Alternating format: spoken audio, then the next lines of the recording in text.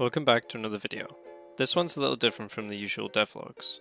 I want to talk a little bit about the game jam, as well as some possible channel changes in terms of what type of videos I want to make. I participated in the collaboration game jam hosted by Mickey. Unfortunately I only got around 3 hours work done before I had to pull out, because real life events took priority. The game jam itself was fantastic, with the theme The Unexpected. The winners can be found here, I'll leave a link in the description if you'd like to see what everyone came up with. They were all really good.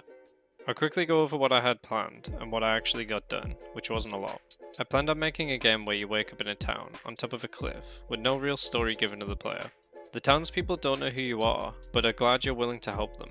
The village only has one exit, which is a road bridge which has recently snapped, so nobody can enter or leave. You speak to two of the villagers each day, and they give you different tasks.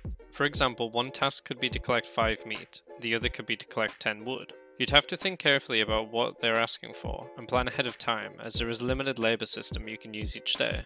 For example, if they ask for 10 wood to keep the fire lit, and you instead chose 5 meat, you'd save one villager from starvation, but possibly kill another of hypothermia. The save and death rates of each villager would be unknown to the player, so it'd sort of be a gamble of who you try and save and who dies.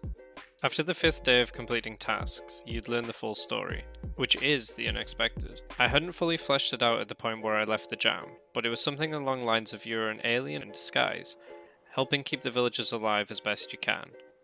Your race has been slowly enslaving the planet, and forcing them to literally work themselves to death in horrible environments, which you would see yourself at the end credits with all the townspeople you did save.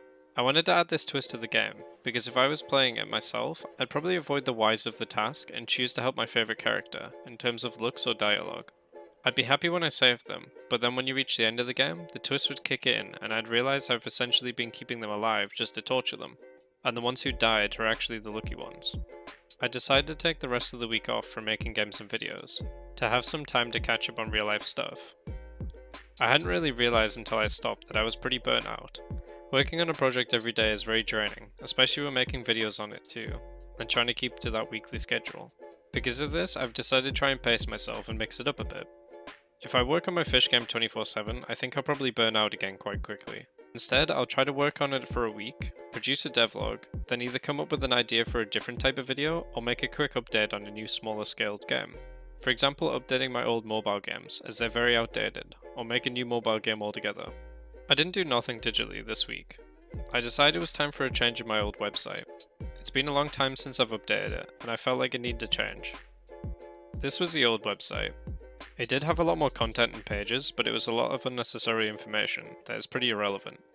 So I've turned it more into a landing page styled website, where all of the content is instantly visible on one page. It still has access to the leaderboard pages for the games in a more tidy and simplistic way. I haven't fully finished the website, but I think it's a lot better than it was. One video I would like to make, which I'm planning on releasing in a few weeks time, is an income video.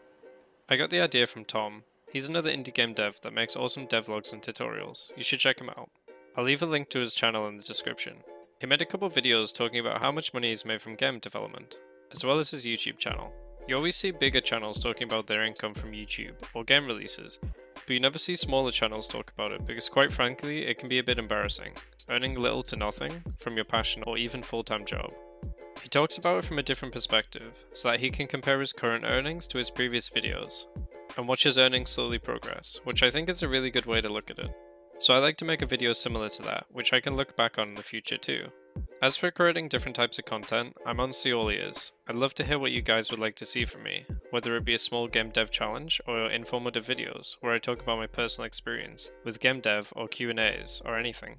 So if you've got any ideas for a video you'd like to see me make, please let me know in the comments or in my Discord, I greatly appreciate it. Don't worry, I will still be working on my fish game a lot and make devlogs too. Thank you so much for watching.